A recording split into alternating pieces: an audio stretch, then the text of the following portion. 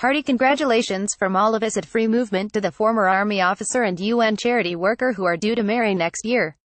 But given that Meghan Markle is an American citizen, what hoops will the happy couple need to jump through in order to complete their nuptials?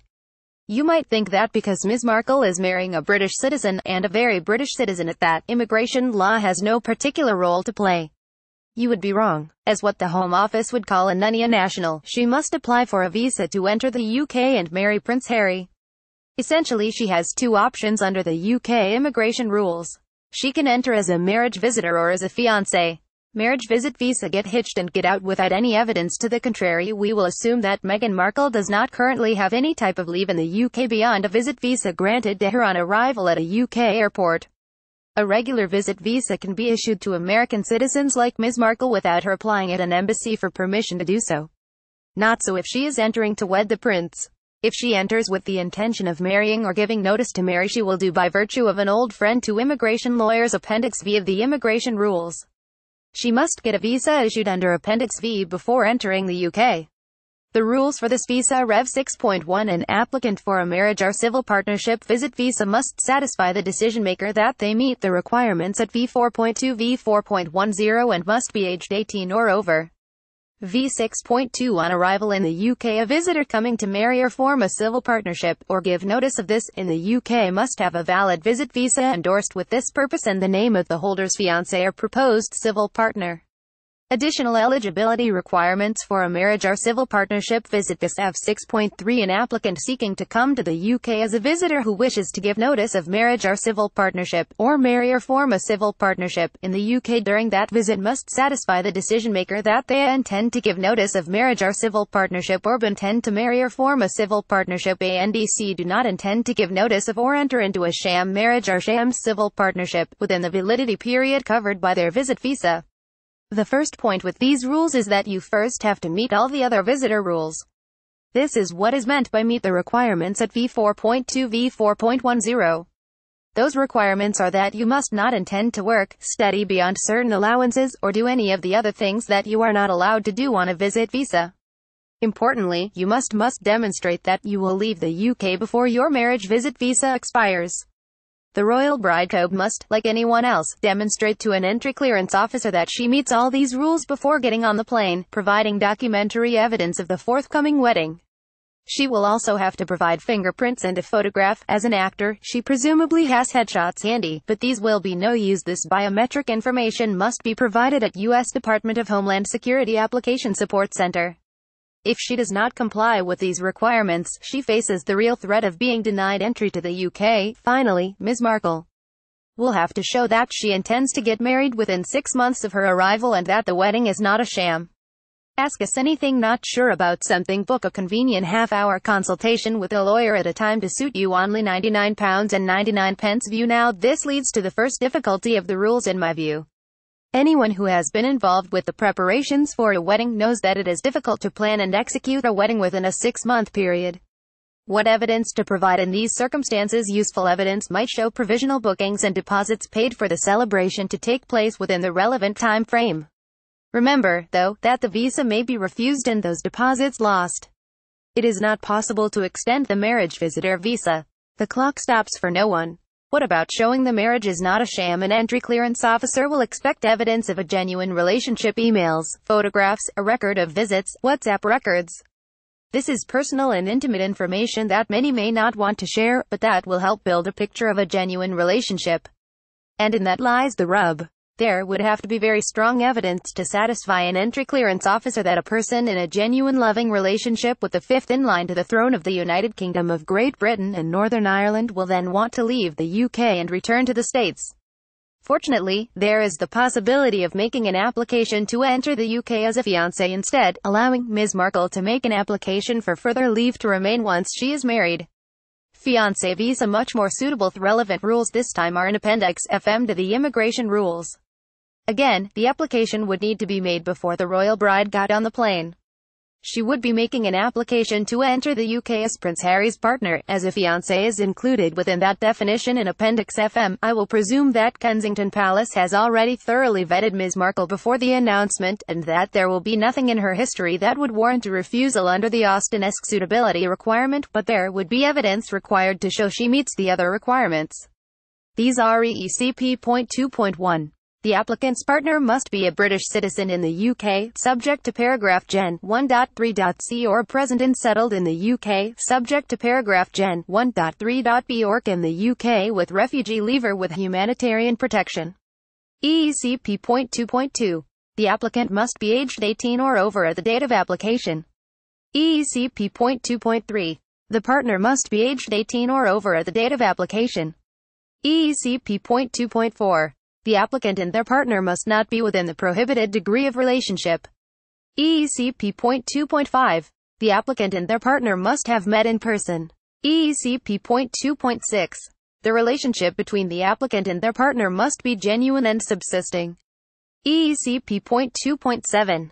If the applicant and partner are married or in a civil partnership it must be a valid marriage or civil partnership, as specified. EECP.2.8. If the applicant is a fiancé or proposed civil partner they must be seeking entry to the UK to enable their marriage or civil partnership to take place.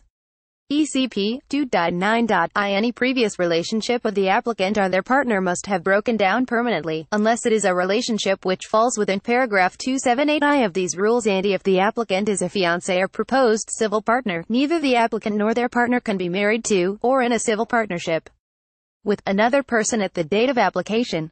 EECP.2.10. The applicant and partner must intend to live together permanently in the UK. In this respect our couple have the advantage that the media and paparazzi have already decided this is a genuine relationship. Their public profile means that many of these rules will be easy to meet with evidence. Mere mortals may want to provide their passports, family photographs and evidence they have been visiting each other and remained in contact for the duration of their relationship. Phone records, money transfers and social media can all help with this. Divorced people applying for a fiancé visa must provide evidence that they are in fact divorced rather than embarking upon a bigamous marriage. In this respect, Ms. Markle has no particular advantage. She would be well advised to provide her divorce certificate. Failure to do so would mean a refusal as it is a requirement under Appendix FMSE 26 marriages, civil partnerships or evidence of divorce or dissolution from outside the UK must be evidenced by a reasonable equivalent to the evidence detailed in paragraphs 22 to 25, valid under the law in force in the relevant country, permanently in the UK. WE can see that the rules above require that a couple must intend to live together permanently in the UK EECP.2.10. This may come as new to Ms. Markle, who has a very successful career as an actor outside the UK. The requirement is ambiguous, though. Unlike some other immigration categories there are no firm rules on maximum absences from the UK during a spouse visa before the spouse becomes ineligible for an eventual settlement application. However, spending too much time apart is a red flag to Home Office officials.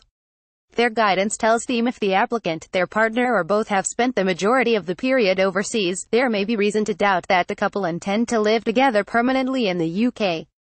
Each case must be judged on its merits, taking into account reasons for travel, length of absence and whether the applicant and partner traveled and lived together during the time spent outside the UK. One might hope that some common sense might be exercised here, but experience suggests common sense is a rare commodity at the Home Office, at least in cases not involving members of the royal family.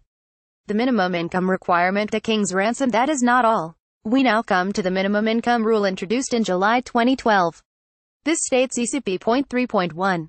The applicant must provide specified evidence, from the sources listed in paragraph EECP.3.2, OFA a specified gross annual income of at least I £18,600 E an additional £3,800 for the first child and E an additional £2,400 for each additional child alone or in combination with specified savings OFI £16,000 and E additional savings of an amount equivalent to 2.5 times the amount which is the difference between the gross annual income from the sources listed in paragraph EECP.3.2.AD and the total amount required under paragraph EECP 3.1.A or ECP.3.2. When determining whether the financial requirement in paragraph ECP 3.1 is met only the following sources will be taken into account the income of the partner from specified employment or self-employment, which, in of a partner returning to the UK with the applicant, can include specified employment or self-employment overseas and in the UK be specified pension income of the applicant and partner, any specified maternity allowance or bereavement benefit received by the partner in the UK or any specified payment relating to service in him forces received by by the applicant or partnered other specified income of the applicant and partner anti-specified savings of the applicant and partner. Broken down, this means that with no children to support yet, the couple would have to demonstrate that Prince Harry has an income of £18,600 a year or savings equivalent to £16,000 plus 2.5 times the shortfall. Where there is no eligible income, the savings necessary will be £62,500, but this must be held in a cash account for a minimum period of six months. That is not all. As well as consulting Appendix FM, the couple, or their lawyers, will need to examine carry a separate appendix, Appendix FMSE. This sets out additional requirements not immediately obvious to the unwary. The income must be earned income and proof must be provided on exactly the right format of documents.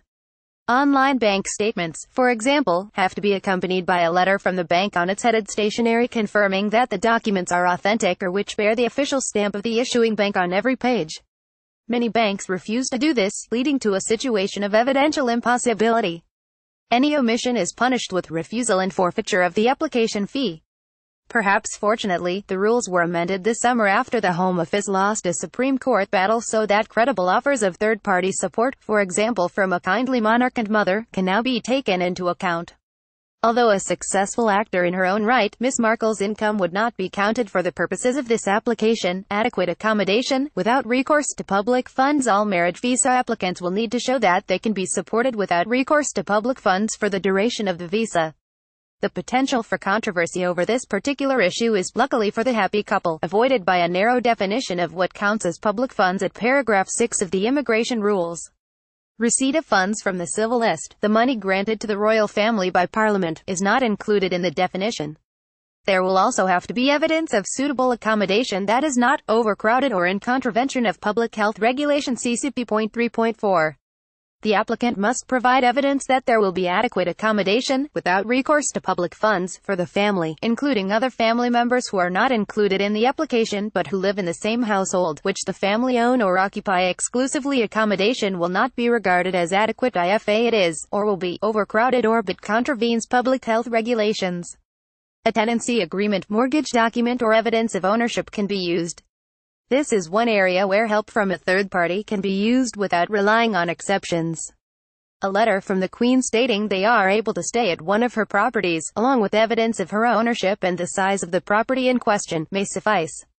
Hardly the Queen's English, but it will DOA's Ms. Markle is an American citizen. The production of her passport will be sufficient to demonstrate she meets the English language requirements. Others not blessed with her nationality would have to undertake an English language test at a secure testing center or show they have studied a degree taught in the English language. Sham marriage checks This is not quite the end of the matter for the happy couple. Under the Immigration Act 2014, both parties to a marriage where one is a non-EU national must give notice of their marriage at a designated registry office. The notice period was recently extended to 28 days in all cases to give the Home Office a chance to decide whether to intervene or not. Both must attend in person. This is even though their relationship has already been tested and accepted as genuine by the Home Office. In this case, the pair will have to attend the registry office in Maidenhead Town Hall. Subject to meeting all those rules, Ms. Markle will be granted permission to enter the UK for six months, with no right to work while here, to enable the marriage to take place. And the best news of all for the Home Office coffers wedded couple is that since the visa is only valid for six months, once married they get to do the whole thing again this time via an in-country application as a spouse. Related